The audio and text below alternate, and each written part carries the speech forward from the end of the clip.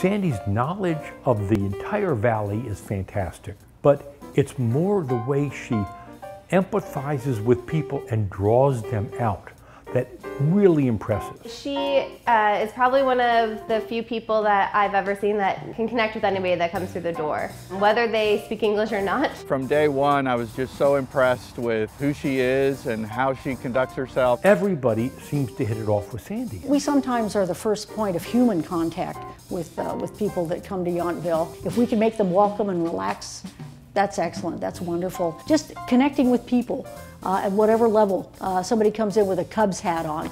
Uh, first you can say, hey, you know, what about those Cubs? Sandy and I met right here at the chamber. I was relatively new as a volunteer and we just battered, bantered back and forth and back and forth. It was so much fun. And when I walk my dog uh, uh, on occasion, um, I've had people say, oh, how cute. And I've said, well, thank you very much, but what do you think of my dog?